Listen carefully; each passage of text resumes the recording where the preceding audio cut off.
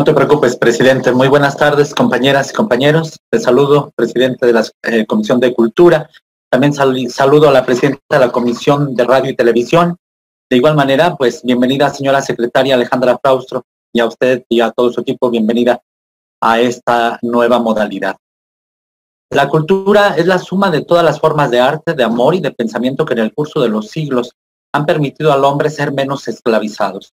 La cultura es el patrimonio más importante que tenemos, es el cultivo del espíritu humano expresado en todas aquellas manifestaciones espirituales, ideológicas y materiales que abarcan cualquier sociedad en el mundo entero. Las costumbres, tradiciones, prácticas, expresiones o creaciones del ser humano son parte de la cultura que cualquier civilización desde su historia hasta la actualidad engrandecen cada vez el patrimonio de toda la humanidad.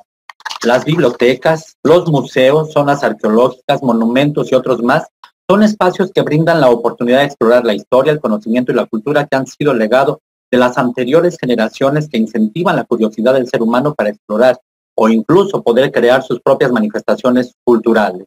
Más que preguntas, son inquietudes, señora secretaria, porque en el grupo parlamentario del Movimiento Ciudadano estamos muy preocupados y muy preocupados porque a pesar de la importancia que la cultura tiene en nuestro país, el presupuesto que se ha otorgado a dicho ramo ha ido disminuyendo en 2018 se otorgaron 14.292 millones de pesos, para el 2019 13.812 millones de pesos, en el 2020 13.977 millones y para 2021 fueron 13.985 millones de pesos presupuestados.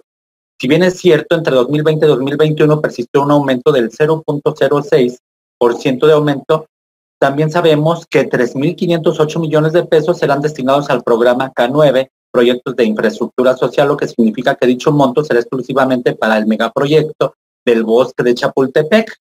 Por lo tanto, solo se tendría para eh, la Secretaría de Cultura 10.477 millones de pesos, lo que significa una importante reducción. Asimismo, con las recientes reformas publicadas en el diario de la, de la Federación el 6 de noviembre del 2020, en donde se extinguen 109 fideicomisos y fondos, como ya lo hemos mencionado, y que afecta mucho a la comunidad cultural y artística, estamos muy preocupados por la desaparición de Fidecine, pero también por el FONCA y el FICENAR. Todos estos ramos que fueron eh, prometidos, porque se le dijo a la comunidad artística y cultural que esos fideicomisos no desaparecerían, sin embargo desaparecieron. Se les dijo que desaparecerían porque había posibles corrupciones pero que se les daría ciertamente apoyo de manera directa.